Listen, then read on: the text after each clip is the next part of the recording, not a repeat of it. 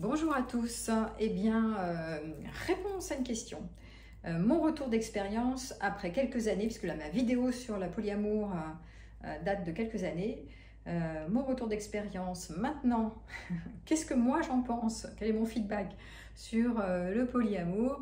Que ce qui est aimer sans exclusivité, laisser des portes ouvertes à d'autres amoureux dans notre vie, euh, si on est déjà investi, euh, moi j'étais déjà investi dans une relation de couple en fait, et l'idée c'était d'ouvrir pour euh, s'enrichir et pour pas buter sur le fait que bah oui à deux à un moment donné on tourne même si on est très fusionnel, bah bon au bout d'un moment on finit par être toujours un peu qu'à deux, rien qu'à deux et donc d'ouvrir. Voilà, donc moi j'en suis où aujourd'hui? Bah, Je ne pense pas la même chose qu'avant, effectivement. je trouve toujours le modèle très enrichissant sur le papier.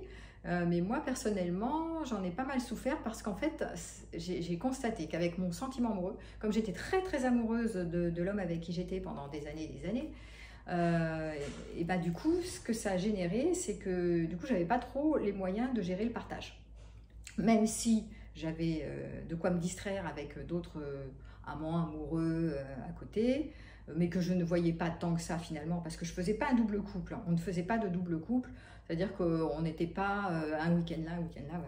On donné la priorité à notre couple et les autres histoires, elles étaient plutôt euh, voilà, annexes. Euh, on passait quand même du temps avec les autres, mais pas. Voilà, c'était quand même la priorité des données à notre couple. Mais moi, j'avais pas les moyens parce que j'étais très amoureuse. Donc, ma conclusion, c'est que si vous êtes très amoureux, en général, vous allez avoir du mal à partager vraiment honnêtement. Il faut être honnête avec soi. Euh, voilà, euh, est-ce que j'ai les moyens ou pas de pouvoir euh, partager la personne que j'aime, notamment si j'investis beaucoup émotionnellement. Donc ça peut être gérable effectivement si, j'investis, voilà, si je me détache un peu, si j'investis, par exemple je peux être amoureuse de, plusieurs personnes en même temps, mais pas vraiment d'une quoi. Voilà, et là ça marche bien. Ou ça peut bien marcher quand je suis oui, en fait, ça, va avec le sentiment amoureux, c'est ce que je dis. Quand je suis pas très très amoureux, donc euh, du coup, euh, oui, je peux aimer plusieurs personnes à la fois, effectivement, mais les aimer dans un sens, pas être dans le manque en fait. Et là, c'est parfait. Là, je peux vraiment aimer plusieurs personnes à la fois. D'ailleurs, je le, je le, vis plutôt maintenant, et, c'est pas mal. Je peux aimer plusieurs personnes à la fois, d'une manière différente. Mais euh, je suis amoureuse de personne, et s'il y en a un qui disparaît, tout va bien pour moi, en fait. Voilà. Donc voilà mes conclusions aujourd'hui.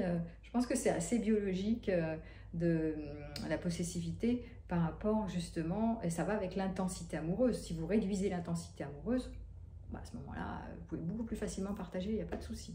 Voilà où j'en suis, voilà mes conclusions.